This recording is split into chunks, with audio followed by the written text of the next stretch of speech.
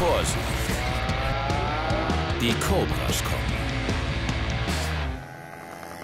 Mit ein bisschen Glück kommen wir auf 25 km/h. Auf dem Acker, in der Werkstatt, auf dem Track, in den Alpen, in Monaco.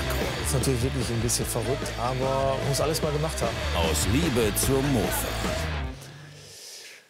Was soll man da noch zu sagen? Cobras, die Mofa Gang. Am 11. November.